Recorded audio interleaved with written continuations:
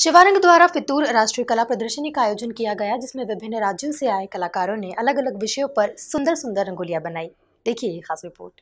शिवारंग की ओर से आयोजित फितूर राष्ट्रीय कला प्रदर्शनी का आयोजन प्रीतम लाल दुआ सभागृह में हुआ। दो से पाँच अक्टूबर तक चलने वाली इस प्रदर्शनी के शुभारंभ अवसर पर विभिन्न राज्यों से आए कलाकारों ने राष्ट्रपिता महात्मा गांधी और पूर्व प्रधानमंत्री लाल बहादुर शास्त्री पर आधारित रंगोलियाँ तैयार की।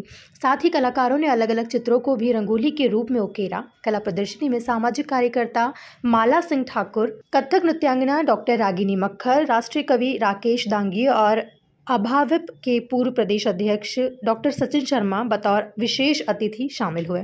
सामाजिक कार्यकर्ता माला सिंह ठाकुर ने बताया कि देश भर के विभिन्न हिस्सों से कलाकार यहाँ आए हैं, जिन्होंने अपनी कला का प्रदर्शन किया है। शिवा भाई राष्ट्रीय रंगोली आर्टिस्ट हैं और फितुर नाम से आज की प्रदर्शनी है। देश भर से विभिन्न हिस्सों से यहाँ कलाकार आए हैं और बहुत खूबसूरत रंगोली उन्होंने बनाई है। हम देख सकते हैं कि गांधी जी बनाए हैं। इसके अलावा कुछ बुज़ुर्ग चाइल्ड लेबर को रोकने का संदेश भी दिया गया है। ऐसे विभिन्न प्रकार से कैसे हम अपनी कला को जीवित रख सकते हैं उसका प्रयास इन कलाकारों ने किया है। और हम सबके लिए यह सौभाग्य की बात है कि आज गांधी जयंती के दिन इतना अच्छा प्रयास इन्होंने किया है।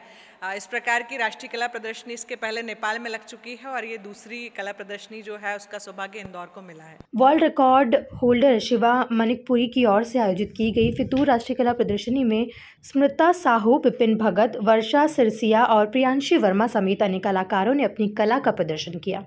भारत देश विभिन्न कलाओं का देश है। भिन्न भिन्न प्रकार की कला और हमारी संस्कृति की पहचान है।